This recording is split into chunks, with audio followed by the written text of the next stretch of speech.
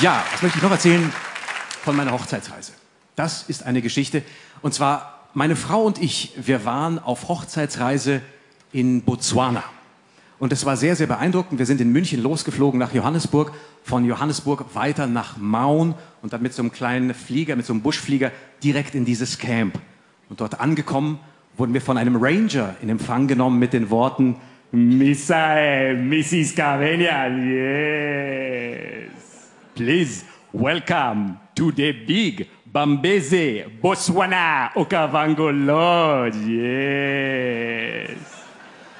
Und dieses, dieses Camp war, um es euch einfach mal ein bisschen näher zu bringen, das war wirklich tatsächlich voll in die Natur integriert. Da waren keine Zäune, keine Drähte, da hätten auch Elefanten und Löwen einchecken können. Und sechs Zelte, insgesamt sechs Zelte, ein großes Hauptzelt. Unter diesem Hauptzelt waren etwa 150 bis 200 von diesen sogenannten Fruit Bats, diese Fledermäuse. Und ich muss ganz ehrlich sagen, wenn du da beim Essen sitzt und dich gucken 150 bis 200 Augenpaare so an, da hast du ein bisschen Schiss. Und irgendwann habe ich mir gedacht, nee, so möchte ich nicht essen. Ich bin aufgestanden und habe diese Fledermäuse adressiert. Ich habe sie gesiezt, ich habe sehr freundlich gesagt, es besteht überhaupt keinerlei Veranlassung für so einen bösen Blick. Immerhin haben wir dieselben Verwandten. Meine Eltern kommen auch aus Rumänien. So. Anschließend hat uns der Ranger zu unserem äh, Zelt gebracht. Unser, unser Zelt rund gebaut, vielleicht acht bis zehn Quadratmeter groß, auch ein Strohdach. Und neben dem Zelt ein Termitenhügel, der war vielleicht zwei bis drei Meter groß und davor ein Sumpfgebiet etwa so groß wie Niedersachsen. Und bei der Übergabe des Zeltes sagt der Ranger zu uns, Mr. Mrs. Carvenia, please, yes. If you see a hippopotamus, relax. Please keep eye contact and slowly, very, very slowly, go back to the hut, grab the emergency horn and und ich dachte mir, genau so wird's gemacht. Zum Glück ging's gleich los mit dem ersten Game Ride, also mit dem Jeep rein in diese wunderschöne Landschaft. Und kaum waren wir draußen aus diesem Camp, haben uns drei Löwen den Weg blockiert. Drei Löwen, die offensichtlich gerade zu Mittag gefressen hatten, die in so einer V-Formation da lagen. Und die Löwen links und rechts hatten bereits zu Mittag gefressen, schliefen bereits. Nur der in der Mitte war noch mit Fressen beschäftigt und was er fraß, war ein kleines Gibbon-Äffchen. Das hatte allerdings bereits den Jordan passiert, lief also alles ganz friedlich ab. Und dieser Löwe kaut auf diesem Gibbon-Äffchen rum und irgendwann reißt er diesem Gibbon-Äffchen einen Arm ab und kaut auf diesem Gibbon-Äffchen Ärmchen rum. Sodass dieses Gibbon-Äffchen Ärmchen dem Löwen aus dem Maul dengelte wie so ein Pendel. Und plötzlich höre ich, wie eine Engländerin hinter mir sagt, Oh, look, the monkey's waving bye-bye. Und dafür, dafür liebe ich die Engländer, weil präziser kannst du es nicht beschreiben. Das ist, äh, das muss man einen Engländern einfach, ich, ich, es ist einfach äh, fantastisch. Ja, irgendwann hat sich im äh, Camp rumgesprochen, dass wir gerade frisch verheiratet sind und der Ranger kam zu uns und meinte, yes, you're the honeymooner, yes, yes, surprise. Und ich so, was denn für eine Überraschung? We have arranged for you honeymoon dinner. Und ich dachte mir, Honeymoon Dinner, das ist ja toll. Und ich dachte, wir würden mit den anderen Gästen da bei den Fledermäusen irgendwo zusammen essen. Dem war aber nicht so. Die wollten, dass meine Frau und ich ganz romantisch essen.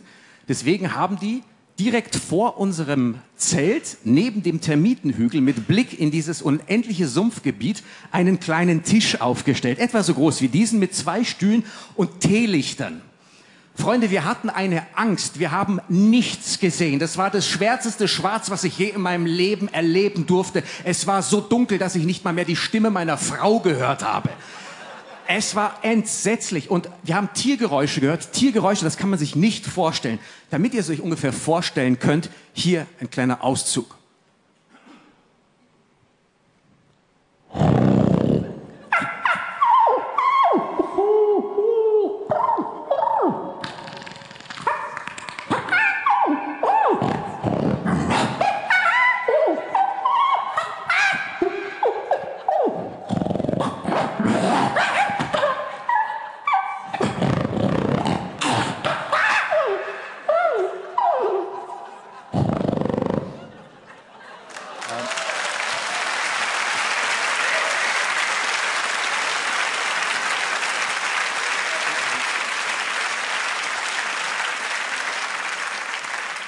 Ich bin Ihnen ehrlich gesagt sehr, sehr dankbar, dass Sie genau an dieser Stelle geklatscht haben.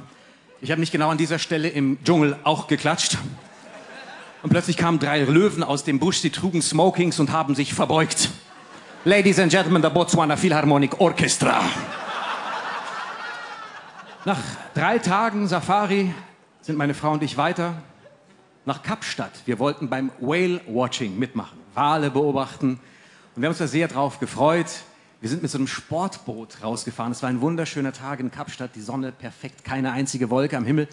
Und wir sind mit einem dieser Boote gefahren, in denen man steht, zumindest solange es fährt. Und für einen Mann ist es schon irgendwie cool. Ne? Du stehst in diesem Boot und dieses Boot und der Wind peitscht dir so ins Gesicht. Und ich sage es ganz ehrlich, ich habe mich so ein bisschen gefühlt wie Ricardo Tubbs bei Miami Vice. Und ich sage es euch ganz ehrlich, hätte ich mich in diesem Moment selbst heiraten können? Ja, ich hätte es getan. Plötzlich hält das Boot an, ich habe direkt gekotzt. Es ging mir so schlecht, Freunde, es war entsetzlich. Zum Glück war ein junger Skipper, ein Engländer an Bord, der sich meiner angenommen hat mit den Worten, Don't worry, don't worry, that happens all the time. Let's just go back at six o'clock. habe ich noch nie in meinem Leben gehört, six o'clock, 6 Uhr als Synonym für das Heck des Bootes. Der Engländer bringt mich also nach hinten, legt mich über die Reling, damit ich quasi den Atlantik füttern kann. Hat mir aber davor vorsichtshalber noch meine Brille abgenommen, damit die nicht ins Wasser purzelt. Und hat mir zusätzlich ein dieselverschmiertes Handtuch in den Nacken gelegt, damit ich auch ja keinen Sonnenbrand bekomme, dafür aber an den Dieseldämpfen ersticke. Wäre eigentlich gar nicht technisch möglich gewesen, weil ich ja richtig mit Kotzen beschäftigt war. Auf jeden Fall liege ich da so, der Engländer ist nicht von meiner Seite gegangen. Der Engländer hat mir mal sanft auf den Rücken geklopft mit den Worten, Let it all out. Let it all out. It's good for you. irgendwann bekam das Ganze so eine Qualität wie beim Kotz-Yoga. Breathe in and let go of everything. Breathe in and let go. Und ich lieg da so in meiner Misere. Und plötzlich sehe ich, wie mir aus dem rechten Nasenloch Blut in den Atlantik tropft. Und meine erste Assoziation, völlig klar. Und noch bevor ich das überhaupt zu Ende gedacht hatte, höre ich, wie der Kapitän von vorne sagt, Ladies and Gentlemen, please get your cameras ready. There's a white shark approaching at six o'clock. Ich panisch will wieder hoch in das verdammte Boot. Der Engländer Stay down, it's good for you. Let everything go. Ich panisch, immer mehr Blut will hoch. Der Engländer stay the fuck down or you're gonna die. Ich so weiß ich auch ohne deine Info. Oh, ich hatte, meine Gott sei Dank, klopf, klopf, es ist nichts passiert. Puh, Schwein gehabt. Warum ich das erzähle, ich höre, ich muss ehrlich gestehen, ich, wie gesagt, ich bin auch so vielsprachig groß geworden und ich höre einfach das Englische so wahnsinnig gerne. Vor allen Dingen jetzt mal ganz im Ernst. There's a white shark approaching at six o'clock. Das klingt total harmlos, oder? Es klingt doch nicht wie dein Ende ist jetzt nah, mein Freund. Ganz ehrlich, there's a white shark approaching at six o'clock. Das klingt für mich eher nach Tee bei der Königin. Her Majesty, there's a white shark approaching at six o'clock.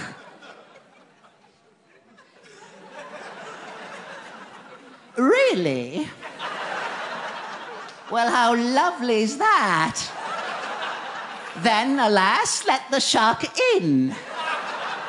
Hello, Sharky, I'm Lizzie. What's your name? Hello, Her Majesty, my name is Dimitri, I'm a shark from Greece. Nein, das war, äh, das ist ja nur so. Ja, griechische Haie, eine Seltenheit. Ähm, ja, wo habe ich das Eng Ja, oder es gibt ja auch so schöne, wie soll ich sagen, Abwandlungen des Englischen. Ich hatte ja vorhin kurz angedeutet, meine Eltern leben in New York, ich besuche die auch so oft ich kann. Und dieses Jahr zum Beispiel bei der Einreise in New York, bei Homeland, wie es ja so schön heißt, saß dort diesmal ein indischer Landsmann. Ganz sympathischer Typ, mit, mit einer ähnlichen Brille wie ich. Und ich leg so meinen Pass hin und der Engländer guckt in den Pass, guckt mich an und sagt, uh, Mr. Rick Cavagnan, welcome to the United States of America. Und meine Reaktion war einmal Chicken Masala mit Mangolasse.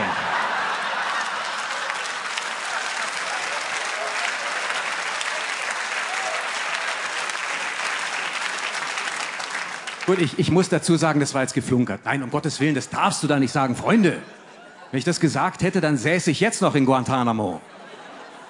Bei den anderen deutschen Komikern. Ähm, was wirklich passiert ist, wahre Geschichte. Ich lege den Pass hin. Der Inder guckt in den Pass und stellt mir eine Frage, die mir ehrlich noch nie irgendjemand irgendwo auf dieser Welt bei irgendeiner Einreise gestellt hat. Der Engländer, äh, der Engländer sag ich schon, der, äh, der Inder, pardon, der Inder guckt in den Pass und fragt mich allen Ernstes, uh, Mr. Rick Cavanian, please tell me, how old are you? Ich schwöre euch, in dem Moment war ich blank. Ich wusste ehrlich nicht mehr, wie alt ich in dem Moment war. Ich meine, du bist auf alle Fragen vorbereitet. Wollen Sie den Präsidenten umbringen? Hm. Haben Sie irgendwie Dünger dabei? Wie transportieren Sie die Drogen? In welchem Organ? Auf alles hätte ich eine Antwort gehabt, aber nicht auf die Frage, wie alt ich bin. Aber der Inder, total höflich, will mir helfen bei der Beantwortung der Frage.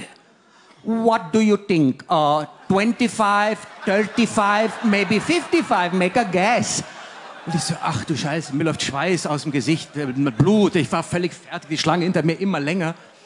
Zum Glück läuft irgendwann so ein langer Schlag, so zwei Meter groß, mit so einem Basketball-Jersey von den Dallas Mavericks, von dieser Profi-Basketballmannschaft in Amerika. Und zwar mit dem Jersey von Dirk Nowitzki. Und der Nowitzki trägt ja die Rückennummer 41. Und in meiner Verzweiflung sage ich zu dem Inder, 41? Und der Inder, da, da, da. Und ich so, 44, welcome to the United States of America. Thank you, danke schön.